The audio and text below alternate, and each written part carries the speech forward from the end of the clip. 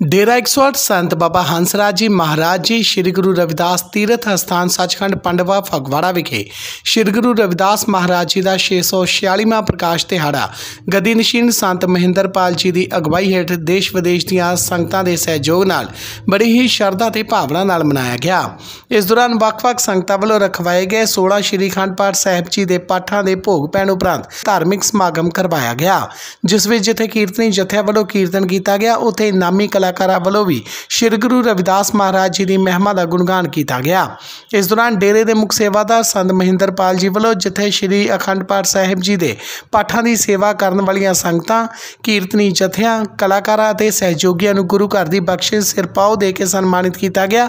ਉੱਥੇ ਹੀ ਸੰਤ ਮਹਿੰਦਰਪਾਲ ਜੀ ਨੇ ਆਈਆਂ ਹੋਈਆਂ ਸਾਰੀਆਂ ਹੀ ਸੰਗਤਾਂ ਦਾ ਧੰਨਵਾਦ ਕਰਦਿਆਂ ਸਮੂਹ ਸੰਗਤਾਂ ਨੂੰ ਸ੍ਰੀ ਗੁਰੂ ਰਵਿਦਾਸ ਮਹਾਰਾਜ ਜੀ ਦੇ ਪ੍ਰਕਾਸ਼ ਦਿਹਾੜੇ ਦੀਆਂ ਵਧਾਈਆਂ ਦਿੱਤੀਆਂ। ਵੱਡੀ ਗਿਣਤੀ ਵਿੱਚ ਸੰਗਤਾਂ ਨੇ ਡੇਰੇ ਵਿਖੇ ਪਹੁੰਚ ਕੇ ਮੱਥਾ ਟੇਕਿਆ ਤੇ ਗੁਰੂ ਮਹਾਰਾਜ ਜੀ ਦਾ ਆਸ਼ੀਰਵਾਦ ਪ੍ਰਾਪਤ ਕੀਤਾ। ਸੰਗਤਾਂ ਵਿੱਚ ਗੁਰੂ ਜੀ ਦਾ ਲੰਗਰ ਅਟੁੱਟ ਵਰਤਾਇਆ ਗਿਆ। ਜਪ ਗੁਰਾਂ ਦਾ ਨਾਮ ਜੜੀਏ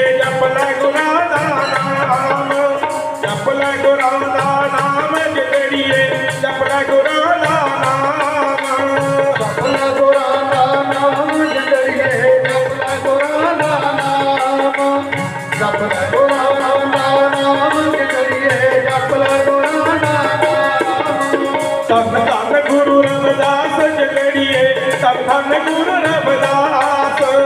ਤਨ ਧੰਨ ਗੁਰੂ ਰਵਿਦਾਸ ਜੜੀਏ ਤਨ ਧੰਨ ਗੁਰੂ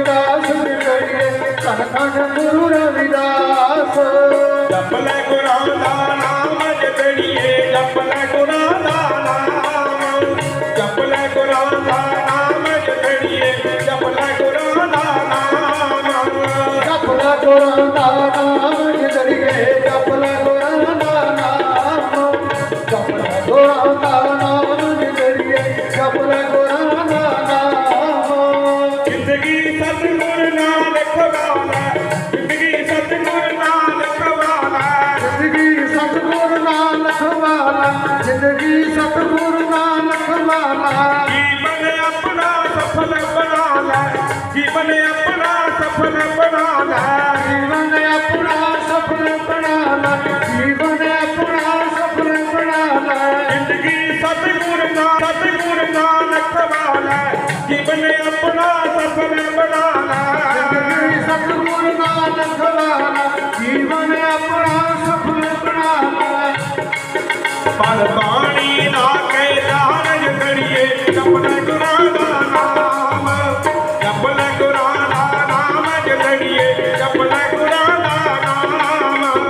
ਆਪਣਾ ਗੁਰਾਂ ਦਾ ਨਾਮ। ਜਪਨ ਗੁਰਾਂ ਦਾ ਨਾਮ।